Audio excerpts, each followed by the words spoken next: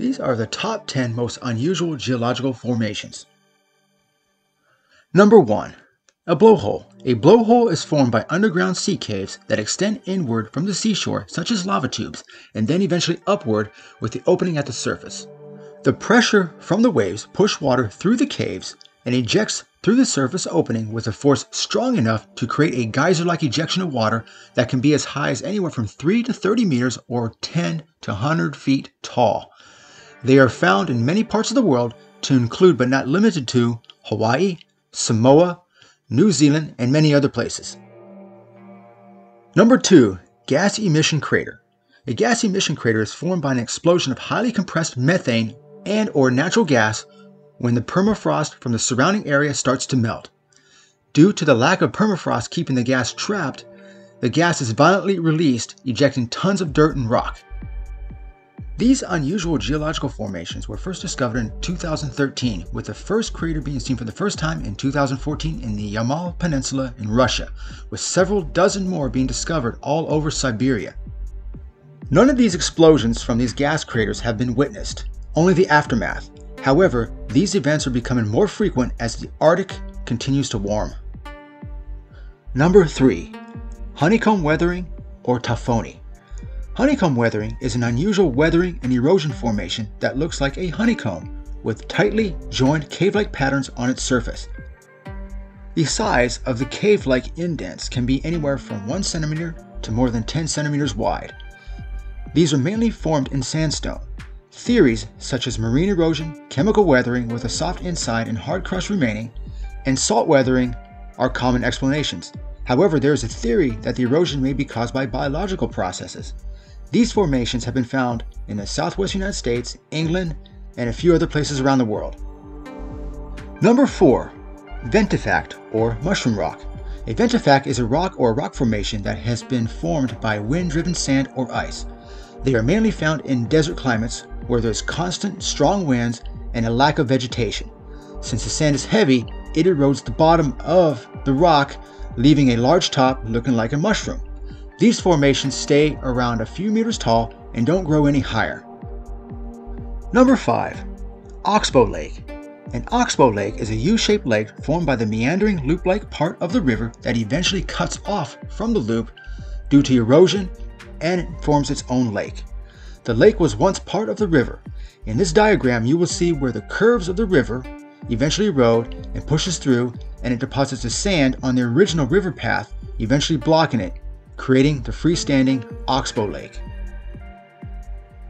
These lakes are very common around the globe, wherever there is a river that meanders and curves. Number 6. Pingo. A pingo is an ice-cored hill covered with rock or silt and vegetation. They are located in permafrost environments in Canada, Alaska, Greenland, and northern Russia. But the greatest concentration of pingos is in Tuktoyaktuk, Northwest Territories, Canada. Since pingos are covered with rocks and dirt, vegetation can grow on them. Sometimes one would not notice a pingo unless you dig into one. If the ice melts inside the pingo, it could collapse into an ognip, which is actually pingo backwards. Pingos can be anywhere from 3 to 70 meters or 10 to 230 feet tall, and 30 to 1,000 meters or 100 to 3,300 feet wide.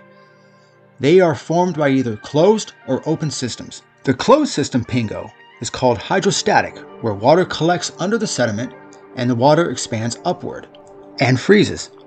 The open system is basically caused by groundwater from a spring or from an outside source, pushing upward and freezing as you can see in this diagram. Number 7. Atoll. An atoll is a ring-shaped island with a coral rim. Atolls form over time by a coral reef that forms on the shores of a sinking volcanic island. As the volcanic island sinks, the harder coral reef remains and eventually becomes a separate island. These are found all over the Pacific Ocean, for example, Penrhyn Island of the Cook Islands is a perfect example of an atoll. Note the white coral reef that was once part of the shore of an ancient volcano. This part right here used to have a volcano in the center. Number 8. Sand volcano or sand boils. A sand volcano or sand boil looks like a tiny volcano with a summit crater that is formed by upward movement of liquefied wet sand that is formed during an earthquake. The shaking of the land during earthquakes can cause liquefaction of wet sand and fine dirt, very similar to shaking a slushy drink. This causes the wet sand to eject and spread out to form small conical structures that look like volcanoes. Number 9. Mud volcano. A mud volcano is another conical structure that is formed mainly by fine grained mud that is formed by hot water that mixes with minerals and dirt and is pushed upwards by underground pressure. Even though they're not considered true volcanoes, they are mainly found near geothermal and volcanically active areas such as Yellowstone and New Zealand. Gases that are released are mainly methane, carbon dioxide, and water vapor. Number 10. Carolina Bays. Carolina Bays are oval depressions that are mainly found in eastern North Carolina and to a lesser extent South Carolina, Georgia, Maryland, and Virginia. The mysterious oval shaped structures in all states gravitate towards Michigan in a northwest southeast orientation, indicated that these may have been formed but not confirmed by an exploding comet over Michigan thousands of years ago. The size of the Carolina Bays can be anywhere from a few meters long to the largest Carolina Bay like Lake Waccamaw in North Carolina, that is 5.2 miles or 8.4 kilometers long by 3.5 or 5.6 kilometers wide. Another characteristic of a Carolina Bay is the raised rims, with the highest being on the southeast side of the Carolina Bay. While it still remains a mystery on how the Carolina Bays have formed, the following theories have been discussed, such as thermal karst lakes from retreating glaciers, a comet explosion, upwelling of groundwater, and sea currents, to name a few. But for now, this is one of the very few geological formations that remain a mystery. Thanks for watching our amazing and restless planet.